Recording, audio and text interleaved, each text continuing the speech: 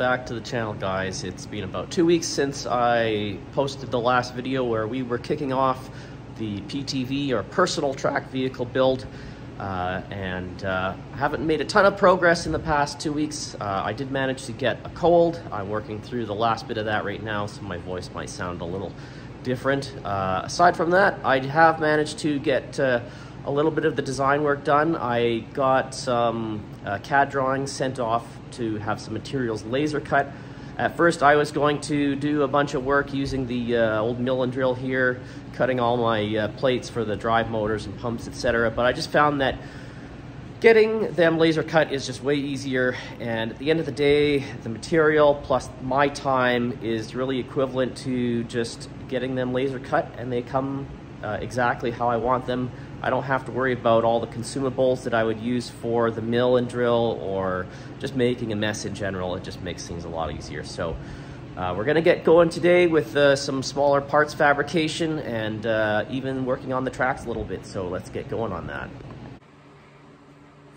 So we're out in the shed here and I already have the, uh, the middle drive sprocket uh, installed in the chuck here so it's ready to go. We're going to use the boring bar just to basically remove this UHMW material from inside this ring uh, to a point where it will basically just kind of pop off. And then we can switch over to the button cutter and uh, basically clean up all of these inside little flutes here and uh, make a nice smooth surface.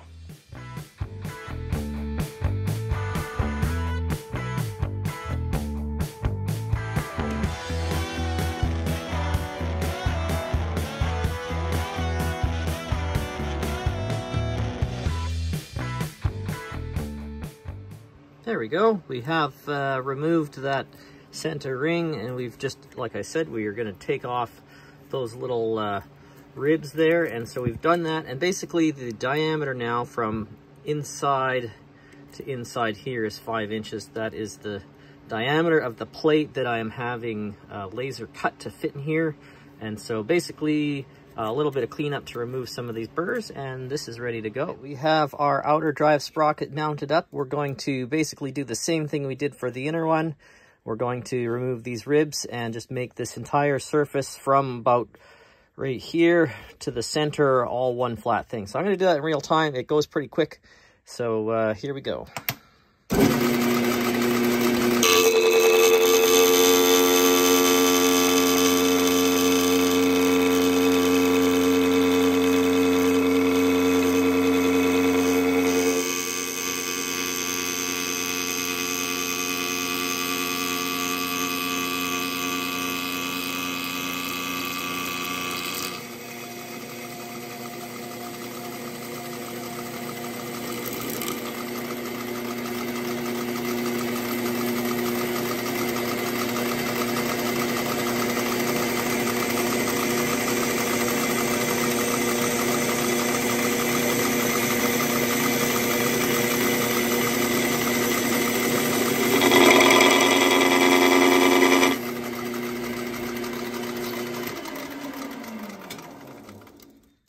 There we go. That's all there is to it. It goes nice and quick. The lathe obviously makes a, a nice clean finish on that so that when we get that plate in there, it's going to uh, sit nice and flat. And uh, that's how we're going to be able to drive those tracks. Here are those hubs. They are all done. And we're going to move on to uh, working on the front bearing that's going to hold the uh, drive shaft for these hubs. So digging through all my parts, I did find these uh, bearings here. They are a one inch uh, inside diameter and they're a type of flange bearing. I can't remember exactly what I'd ordered these for, but uh, I have five of them and uh, we only need four. So what we're gonna do is uh, start making a tube that's gonna hold these bearings and uh, start mocking up the front axle system for the PTV. So I've come up with a little bit of a mock-up here. You have to excuse the crudeness, but I think this is going to help uh, you guys visualize what exactly I'm trying to do here. So I have the uh, drive motor just sitting in place. We have a laser cut plate that's going to be used to uh, mount it in place of this piece of square tubing here. We're going to cut it out, weld it in. The motor will mount there. It has some slots for adjustability to uh, tension the chain and get any of that slack out of it. Uh, and a key note here is uh, the angle of this tube you could see as it rises up to this mounting tube here. We're going to try and carry that forward all the way up to the drive axle on the track. And that's just going to allow the chain to pass over and under that uh, tube without any kind of interference. If we come up to the front here, you can see the drive axle arrangement. So we have our outer uh, track drive sprocket, our inner track drive sprocket. Here is our flange mount bearing that's going to sit inside there. We have our other flange mount bearing here. This is our chain drive for the, uh, the motor drive part of the track and our other outer track drive sprocket. So what we're gonna do is use a piece of this heavy wall tube here to make an actual uh, carrier, if you will, uh, and that's where these two bearings are gonna fit in. We're gonna try and make it as wide as possible to uh, increase its support capacity and uh, just kind of reduce that moment of uh, pivot on the track. There's gonna be a lot of pressure on this uh, axle, so the wider it is, the, the better it will be to distribute that load. So once we get this machined and the bearings in place, we're gonna use a piece of rectangular tube that'll come off of this upper uh, mounting tube here. It's gonna come back to here. And then we're gonna just triangulate that down to the little uh, axle down here. And that should be our, uh, our track drive setup.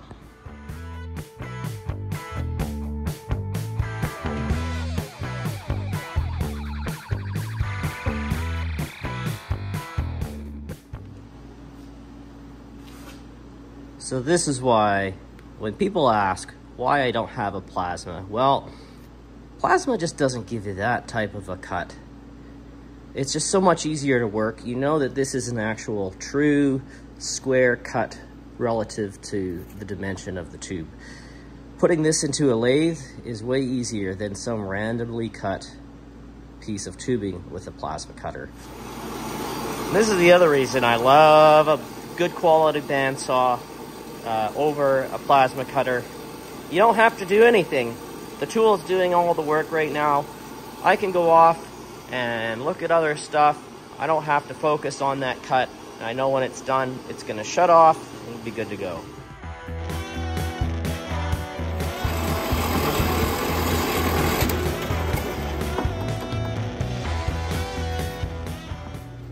So now that we've got these tubes cut, the next step is to take these out to the shed, put them in the lathe, and we're going to machine them down on the inside so that these bearings can fit. So we are looking at uh, an outside dimension of almost exactly two inches. And these tubes here, the internal dimension is right around, oh, that's super close. So we need to take off about 45 thou uh, we're basically just going to be cleaning up the inside of this uh, for these bearings to sit in there.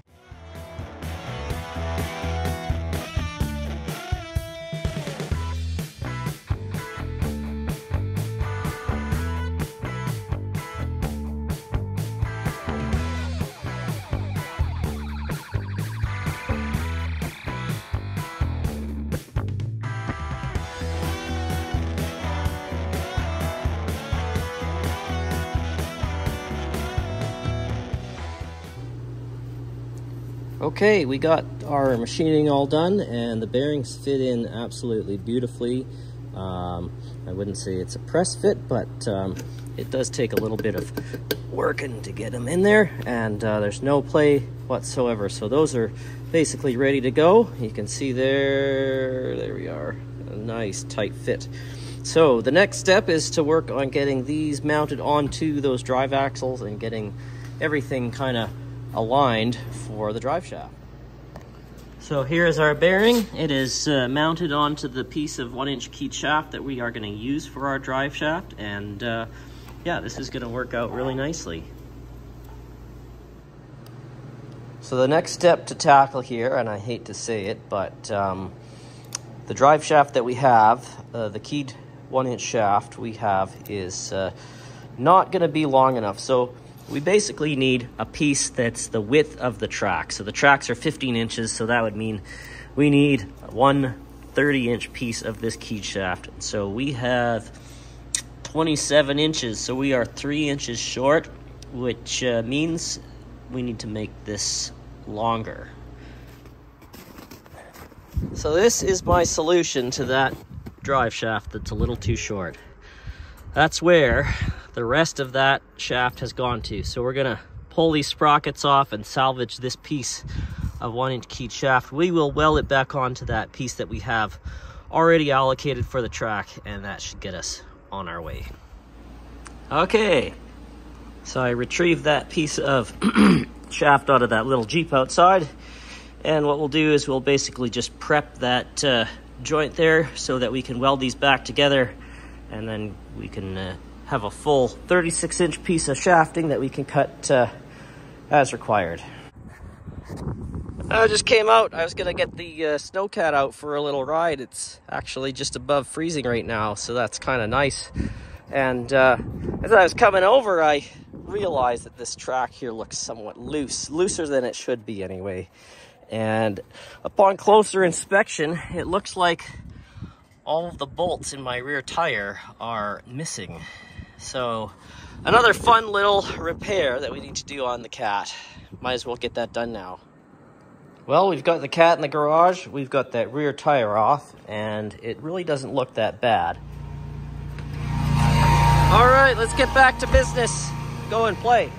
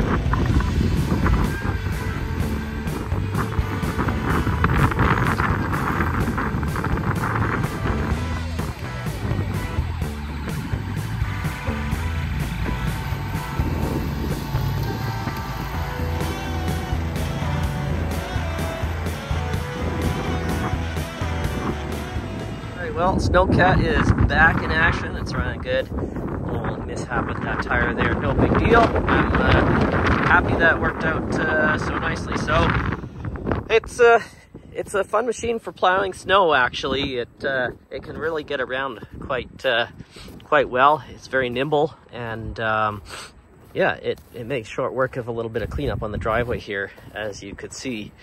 But uh, enough playing around. It's time to get back into the garage and we're going to continue working on that drive shaft a little bit more now. All right, well, we are back in the shop here.